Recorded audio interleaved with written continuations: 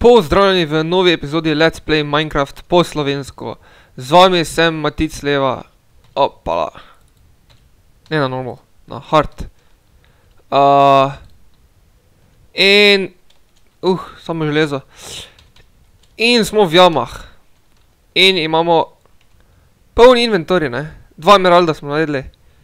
Imamo dva, tri steke železa. Uh, in kaj se meni samo zdi, ali ni zvoka? Ni zvoka. Se vrnem nazaj, samo malo. In smo že nazaj. In imamo zvok. Eh. No. Um,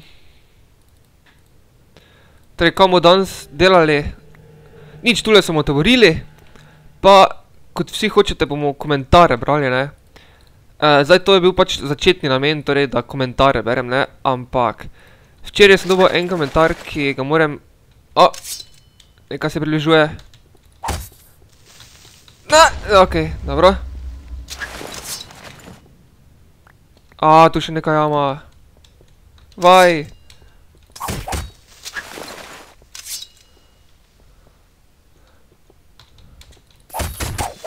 Huuu. Destroyed in seconds. Ampak včeraj sem dobil en komentar, ko ga enostavno moram malo bolj podrobno prebrati, ne. In sicer komentar je bil, zakaj nimam boljšega interneta, ne. Mislim, saj ta komentar sem dobil že marsik, marsikdaj, ne. Ni to zdaj prvič, ta komentar, ne. In enostavno moram to razložiti, ne. Pa pol tudi povezuje se tudi na to, zakaj sem Webuild pač prekinil, ne. Samo malo, da jaz to prvo porihtam. Torej, zdaj, iz izkušenj, ne, tako, pravim, da okoli sedemdeset procentov mojih gledalcev je mladoletnih, ne. Torej, hodijo v osnovno šolo ali pa srednjo šolo in živijo pri starših, ne. Še en creeper. Oh, shit. Tu pa ven ne morem priti zdaj. Bum. Dobro, pokni se, ni važno. Mi je pa res vseeno, če pokneš ali kaj narediš. Torej, večina jih živi pri starših, ker so pač mladoletni, ne. Zdaj, sicer ne vem, kaki družini vi živite, ne. Ampak pač v moji družini, ne, nisem jaz ta glavni v družini, ne. Kar pač pomeni, da če se karkoli odločim, ne, kar zadeva celotno družino, ne, se ne morem sam odločiti. Pač moram starše vprašati, ne. In ena taka odločitev je recimo hitrejši internet, ne. Ker mislim, saj sicer ne vem, ne, ampak jaz ne plačujem interneta, ne, ampak ga plačuje, mislim, da ata, ne.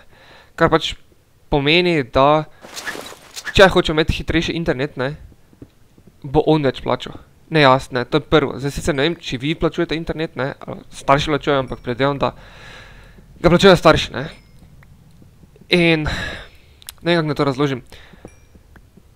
Enostavno, če bi hoteli imeti hitrejši internet, ne morem prvo oba starša prepričati, da rabimo hitrejši internet, ne, ker kot sem rekel, vse, kar zadeva celo družino, se odločimo vsi trije, ne samo jaz, ker nisem glavni v družini, ne.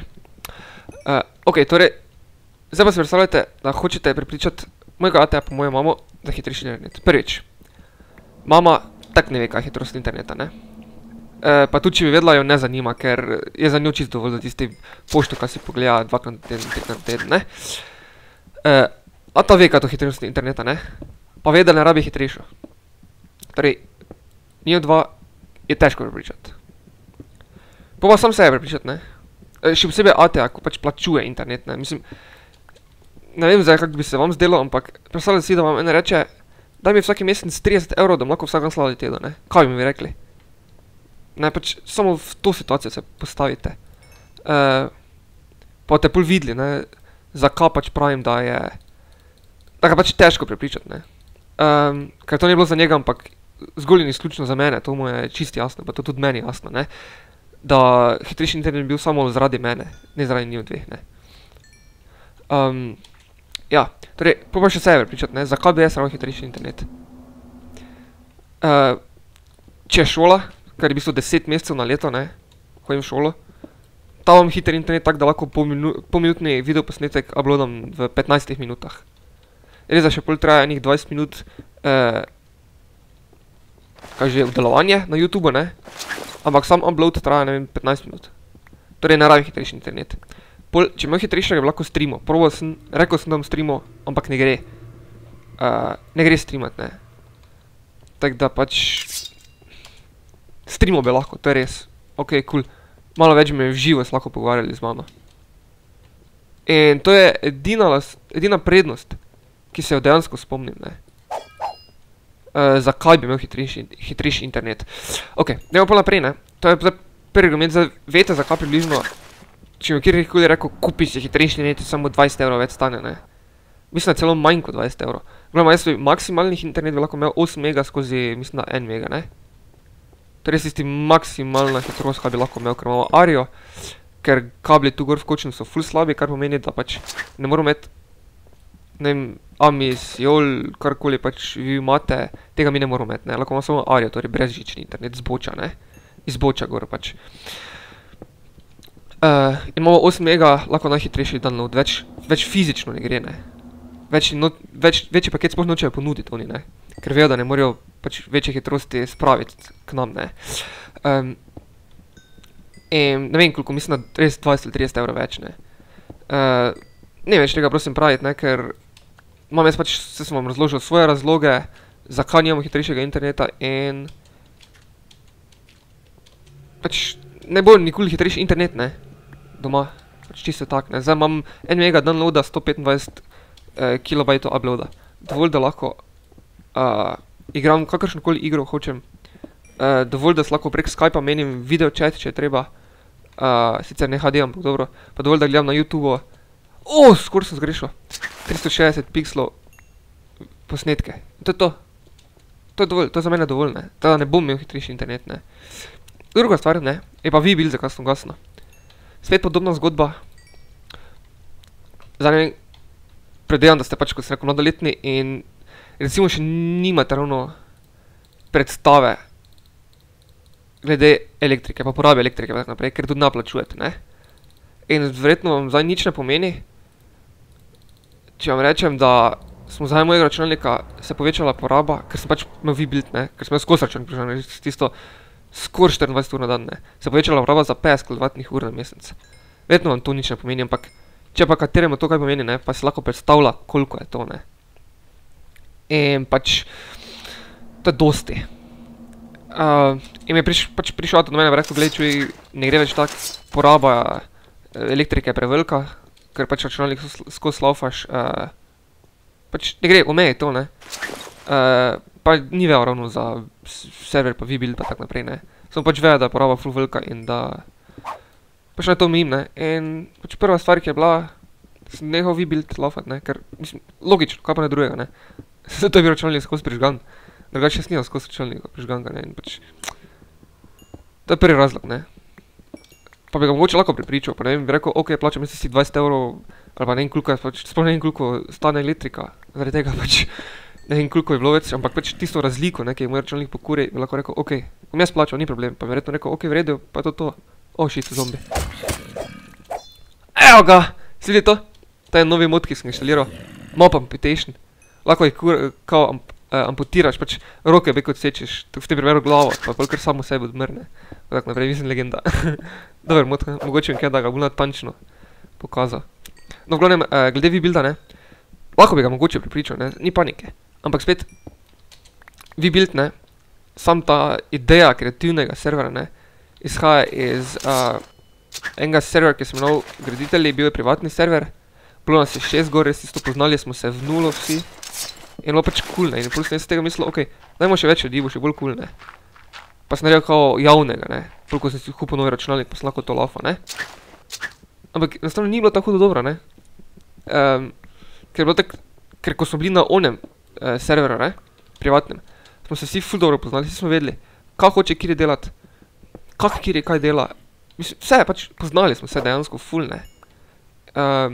tu na Webuildu pa enostavno pridejo gor ljudje, ko recimo, pa ne vas, ne me zdaj narobe razumeti, čisto v redu mi je to, ne, da pridete, ampak pač ljudje gor, ki recimo so začeli igrati zaradi mene, ker pač gledajo moj channel. Creeper! Kako sem se ustrašil. Dobro dam armor, ne. A, dol je padlo.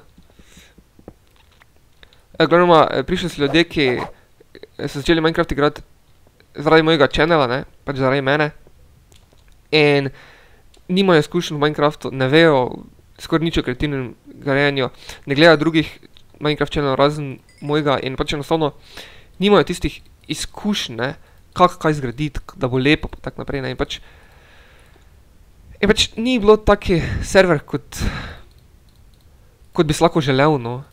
In zaradi tega tudi mi ni bilo težko pač reči konec je z Vbildom, ne. Pač čisto tako, ne. Da veste zdaj, zakaj. To je točka, kjer sem armor naredil, ne. Sicer tam je creeper njim bil pa čisto poleg mene poknil in to samo zaradi armorja, ne. Ker imam ker imam, ker imel pač tak oklep, ne, ful dober.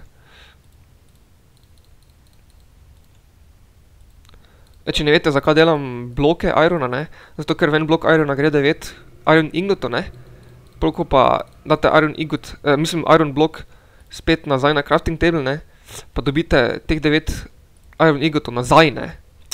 To pa že imam, pozabil sem, da že imam. In to pač tako si ful za devet devetkrat manj porabite dejansko, chestplate že tu imam, šit, no, kaj jaz delam, noge moram narediti, noge. Ne pa nič. Zdaj že imam double armor vse, no.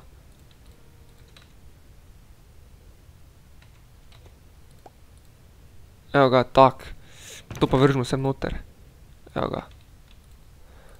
kako, pri čem sem zdaj sploh bil? Pri Vbuildu verjetno, ne. ja, razlagal sem, ja.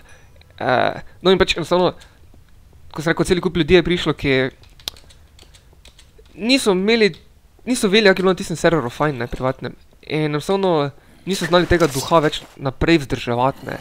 Jaz pač mislil, da bom, roka mi je spet odpadla. Pol ko jih pohabite, tudi se počasneje gibljejo zombiji, ne. Pa še kri tako šprica. no, v glavnem, pač jaz sem mislil, da bo ratalo obdržati ta duh, ne, bom lahko tem novim ljudem pač razložil, kako pa kaj pa, ne, kot da bojo se privadili, ne. Da bojo dobili vzgled pa bojo pač še vedno pol igrali tako, ampak pač ni se to obneslo enostavno. Čisto tako povem, ne. In pač zato mi ni bilo težko prenehati, ne, z Vbuildom. Ta pač naslednjič, ko boste mislili, kdo ko boste pač mi mislili reči: "Kupi si boljši net," ali pa "Zakaj si ukinil Vbuild?" ali pa karkoli takega, ne, veste razlog in veste pač tudi moje razmišljanje, ne. zakaj. Tako da pač to je to, no. Zdaj že tako menda počasi petnajst minut minilo. Tako da toti iron še skapljem.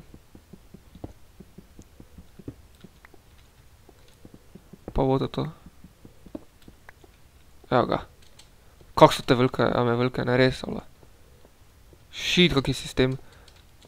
Vem, da sem že dve ali pa tri ure v toti luknji noter pa pa še nisem vse raziskal, ne. to je bilo vse za danes, no, malo težka epizoda. Dosti sem povedal, ampak pač treba je, ne. Uživajte, čao pa.